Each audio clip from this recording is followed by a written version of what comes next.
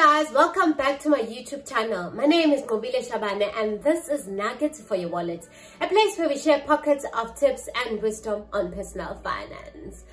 We're still in August and I would like to say Happy Women's Month to all the ladies watching this video.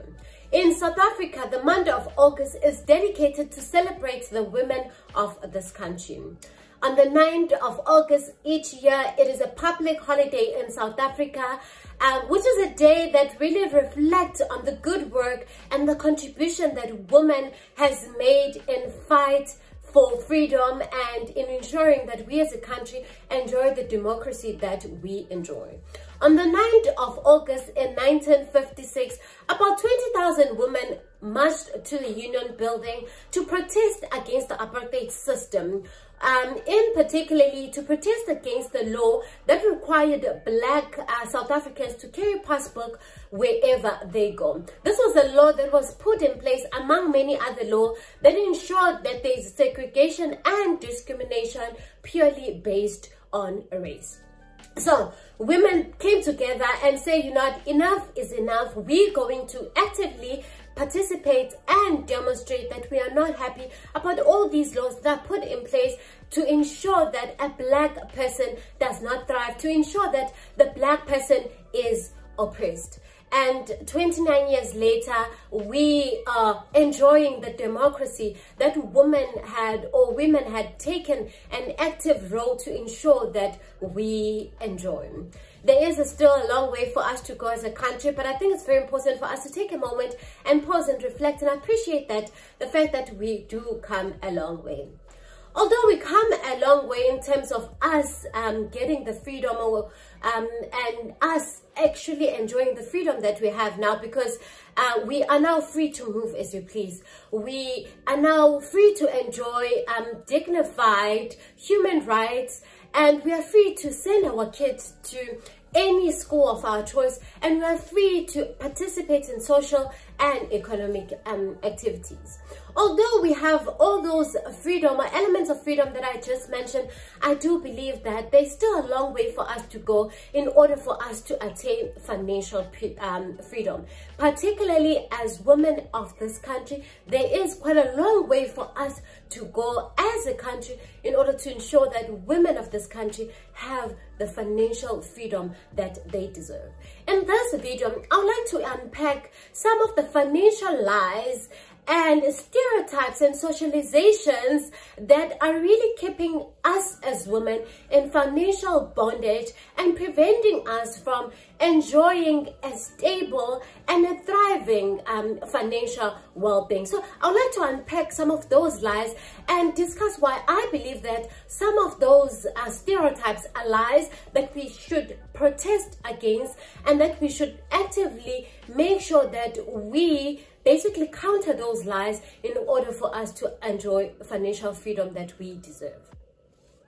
The first lie that I would like um, to, to, to, to, to unpack a little is a lie that says that women are not good with money because they're impulsive with their money.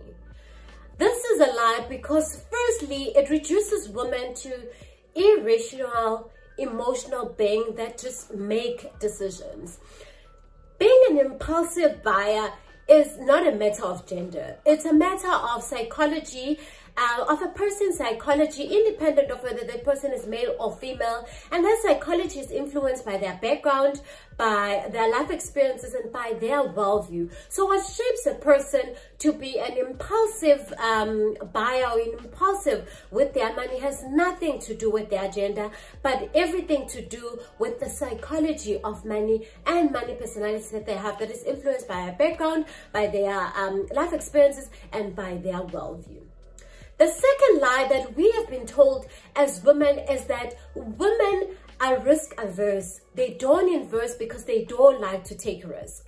This is a lie because uh, women do not um, invest because research does reveal that uh, more men invest in comparison to women. But the reason why they, there's less women who are participating in the investment world, it's not because generally speaking, women are risk adverse. It is because women have not been equipped with the right financial education in order for them to be able to want to take those risks, in order for them to be able to understand the world of investment. And majority of the cultures, consciously and subconsciously, um, the society pushes for men to be financially liberated. It advocates for men to get the financial education and to build their wealth. And for women, what is pushed and what is encouraged is for a woman to get the bare minimum education and for them to then just wait for marriage and raise kids. And that is why it seems as though women are more risk averse compared to men. Uh, but the reason is not just because they're women, it's because they have not been capacitated with the right information to assist them to make and inform financial decisions such as investing their money. So the fact that there are women uh, does not necessarily equate that they are risk adverse. With the right financial education, with the right training, I believe that women will be willing and will participate in the investment world. The third lie that we've been told and that we sometimes believe as women is that a financially independent woman or a successful independent woman repels potential life partners. Oh, this this is this this this lie has made a number of women to really not realize their full potential and to cap um their what how they achieve and how they desire to climb the corporate ladder or the business uh, world with the fear um, or because of the fear that if they climb the ladder and they really succeed, they might struggle to find a potential partner. I think this is a lie that it's very important for us to debunk and um, that is very important for us as women to ensure that we do not believe. Um, go for your dreams, achieve what you want to achieve. Don't basically cap what you can achieve purely because you're afraid that you might not get a life partner. Firstly, I don't believe that we all would get married. I don't believe that all women want to get married. And so capping and um, not achieving what you want to achieve purely because you're afraid that you're not going to get a life partner is not a wise decision. And also, I believe that um, there are guys out there who are basically secure in who they are, secure in what they bring to the table, and secure in their potential such that they're not threatened by a woman's success. So strive and make sure that you achieve whatever you want to achieve and believe that there is a life partner that you are going to meet who's going to be so secure in who they are, who's going to be so secure in what they bring to the table such that they will not be threatened by what you um, bring to your table and your success. So don't believe that lie. Go for whatever you want to go for as a woman. And the last lie that I think we tell ourselves even as women, and sometimes jokingly so, but I think it's a lie that we really need to put a stop to, is the lie that you need a rich husband or a rich man. You know how people would jokingly say that, oh, I don't want to work, I just need to get a rich husband, I just want to be a rich housewife. Um, I was actually having a discussion with my younger sister when she was saying, oh, school is so hard. Can I just be a rich housewife? I was saying, you know what? This is a lie that we need to stop telling ourselves. Um, this lie is very dangerous because firstly, it suggests that it's only man who can get um, financial wealth and we as women need to be pure recipients of whatever hard work or smart work that man has done in order for them to get financial wealth. And secondly, this lie acknowledges that in order for you to have financial wealth and to have a financial well-balanced life, you need to work hard and you need to work smart. But this lie is has an element of being selfish in that we as women then believes that men must work and we mustn't do anything. We must just be pure recipient of that.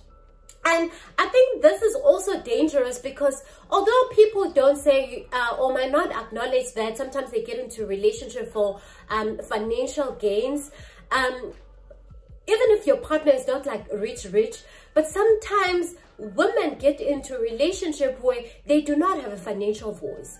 They are in relationships where they do not have a financial backbone, such that some of them stay in abusive relationships, stay in an oppressive relationship, relationships that do not serve them, that are actually taking away from them then um, them enjoying the relationship just because of the financial gain that they get from um, that relationship.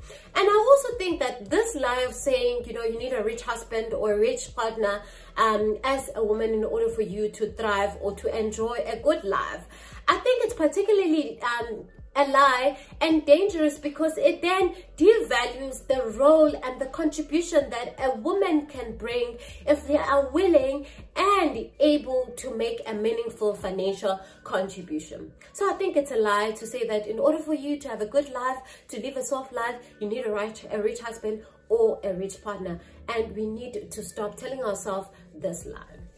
So now that we have talked about these lies, and I really believe that these are stereotypes and these are the lies that are really keeping us in bondage as women. And some of these lies, they are there at the back of our mind. We are sometimes not cautious that we are subject to these lies and that they influence the way that we look at ourselves and they influence the decisions um, that we make um, about our money. So what can we do as women to ensure that we take an active role and make sure that we are active in ensuring that we are financially liberated. There's a couple of things that I believe that we can do as women. Firstly, I think we need to ensure that we take an active role to ensure that we are financially educated. There is so much information available on the internet. We live in a digital age. There are so many platforms and some of those platforms are purely dedicated to women, to capacitate women with financial education and knowledge. And we need to ensure that we make use of those platforms and that we consume those resources in order for us to increase our financial IQs. There is a number of women who are doing great work and have great um, financial initiative. Um, and some of those women I follow myself. Um, for example, Nicolette Mashile, she has very good content and by watching her content, you can learn so much about finances. Mapalo Makhu, um, Maya Fisher French, uh, uh, Suze Orman, um, and there's so many other ladies. I'm one of those ladies. I mean, I give out financial education. And if you basically invest in ensuring that you have the right financial education, it will assist you to walk or to make your way toward financial freedom. I think the second thing that we need to do as women is that after we have received the knowledge, we need to do something about it. Financial well-being is 80% behavior and 20% knowledge. We can learn all we want. We can, there could be thousands and thousands of platforms out there to assist us as women to gain the necessary financial education. But if we do not put those into practice, then it will be as good as nothing. So as a woman, you know that you need to do budget. You know that you need to save. You know that you need to start save, um, investing. Are you actually doing that? I think it's time for you to take some time and reflect. Are you actually putting in practice what you have learned over the years? So the power of financial education is in you putting it into practice. Saving is a habit. Saving is a muscle that you need to exercise. You need to start now. Independent of your financial status, independent of how much money you earn or how your business is doing, you need to ensure that you are financially educated and that whatever education that you have received, that you basically put it into practice. And I think the third thing that we can do as women is to remember that no one is coming to save us. No one is coming to save you. In order for you to have financial freedom, in order for you to have a, a stable financial life, you need to save yourself. You need to work hard. You need to work smart. You need to ensure that you develop yourself in order to, for you to increase your income earning potential and ability. No one is coming to save you. If someone comes in your life, if a life partner comes into your life, let that person add into your life. May you, may you be able to have a financial backbone so that you are able to make your own decision so that you're not subjected and oppressed just because you do not have the financial backbone. So remember, no one is coming to save you. You need to work for yourself. And I think the last thing that we can do as women to ensure that we are liberated and that we liberate one another is that we need to share information. If there's a job opportunity that you know of, share with another lady. If there's um, a financial trick or hack that you have learned, share with your chummies. I think research um, has revealed that as women and people in general, we're comfortable talking about our relationship. We're even comfortable about talking our own our own dead um, but we're very not comfortable with talking about money. I think we need to normalize, especially as ladies, talk about money. If you have a life policy, share. Where, where, where have you taken your life policy? What investment do you have in place? Let's equip one another. So let's share information. And with that, helping each other, I think it's very important that if you are in a position and you realize that there is a woman who is financially oppressed, um, and who does not have a voice because they do not have the financial muscle or they're discriminated purely based on their financial well-being. I think we need to speak up for one another. We need to stand to stand for one another and we need also to call one another out when we start believing all these lies all these financial lies and stereotypes that are keeping us in bondage. I think if we can do some of those things it it will be us demonstrating that we are taking an active role um, in ensuring that we are liberated. Similar to how the women of 1956 marched to protest against some of the laws that were put in place, we need to make sure that we make the metal march that we come together as, as ladies to ensure that we are all financially liberated, to ensure that we are empowered with the right financial education and that we are putting that education in practice in order for us to enjoy a thriving financial life if you educate a woman, if you capacitate a woman, if you empower a woman, you are empowering a nation. Because a woman does not keep information to himself. Whatever a woman knows, however a woman behaves, influences the society, influences kids, influences the greater community. This brings us to the end of our video today. If you like this video, please leave it a big thumbs up leave a comment in the comment section. Tell us what are the, some of the things that you think are really holding us in financial bondage as women and what can we do um, to ensure that we get the financial liberty that we deserve as women? So let's engage in the comment section. Also you can share this video with other women with other people and if you have not subscribed to my channel please please subscribe to my channel. It is free. Click that red subscribe button. Turn on the notification bell so that you get notified whenever I upload a new video. Lastly, tell your friends to tell their friends that Nuggets for Your Wallet is on YouTube. Until next time, bye.